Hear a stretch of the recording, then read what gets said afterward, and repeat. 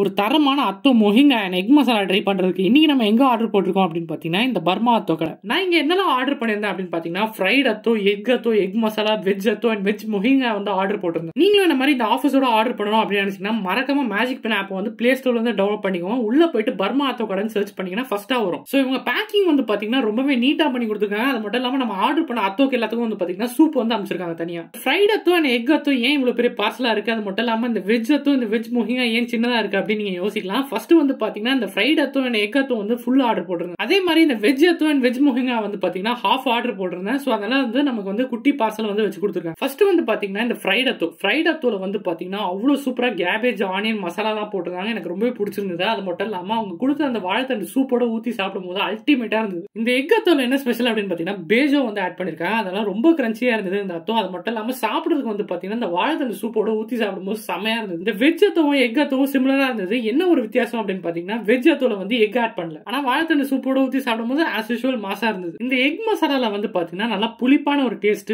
masala fried onions எல்லாம் போட்டு சாப்பிடுறதுக்கே வந்து பாத்தீங்கன்னா வேற மாதிரி இருந்தது நெக்ஸ்ட் வந்து பாத்தீங்கன்னா நம்மளோட வெஜ் மொஹிங்கா வெஜ் மொஹிங்கால வந்து பாத்தீங்கன்னா டாப் லேயர்ல வந்து பேஜோ மசாலா ஆனியன் எல்லாம் போட்டு சூப்பரா இருந்தது அடியில வந்து பாத்தீங்கன்னா அப்படியே பிளெயின் நூடுல்ஸ் தனியா சாப்பிடுறதுக்கே வந்து பாத்தீங்கன்னா செம்மையா இருந்தது பட் ஆனா அந்த வாழைத்தண்டு சூப்பை ஊத்தி இதை மிக்ஸ் பண்ணி சாப்பிடும் போது வந்து பாத்தீங்கன்னா வேற லெவல் அந்த மசாலாவோட டேஸ்ட் ஓவராலா நம்ம ஆர்டர் பண்ணி எல்லாமே வந்து பார்த்தீங்கன்னா வெறித்தனமாக இருந்தது ஸோ இந்த மாதிரி ஃபுட் அப்டேட்ஸ்க்கு மறக்காம டெலிஷியஸ் த்ரீ சிக்ஸ்டி சேனலை சப்ஸ்கிரைப் பண்ணிக்கோங்க